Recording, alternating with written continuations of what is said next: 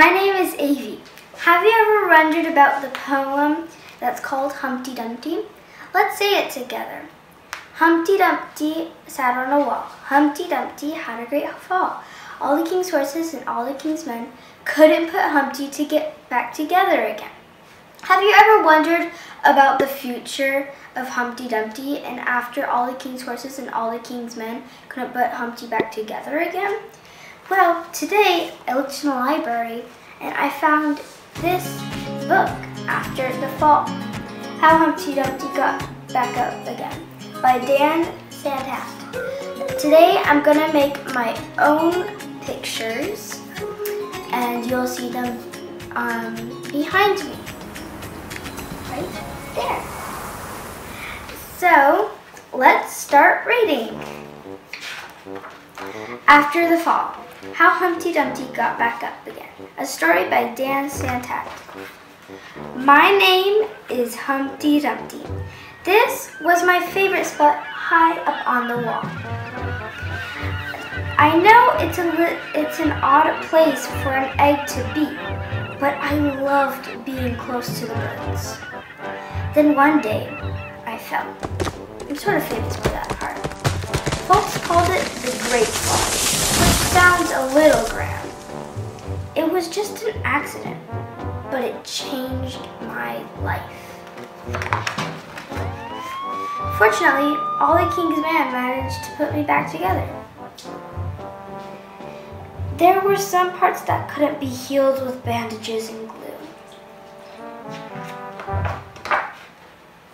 After that day, I became afraid of heights. I was so scared that it kept me from enjoying some of my favorite things. But all those favorite things that he can't get.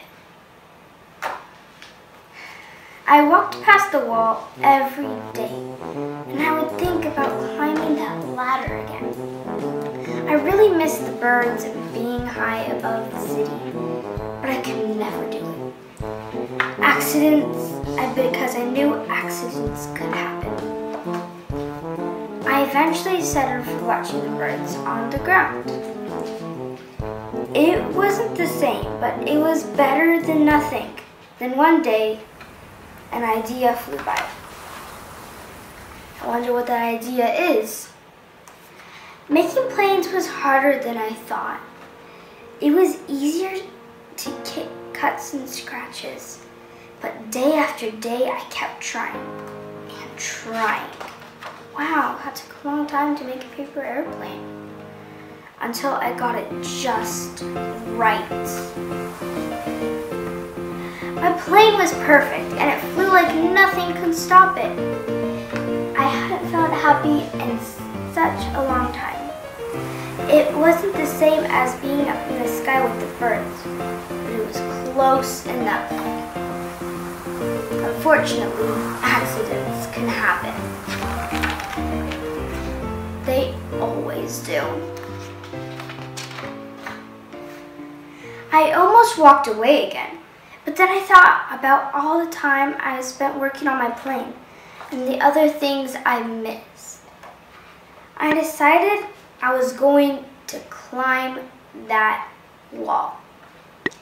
But the higher I got, the more nervous I felt. I didn't want to admit it. I was terrified. I didn't look up. I didn't look down.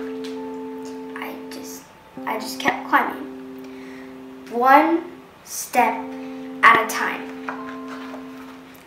Until I was no longer afraid.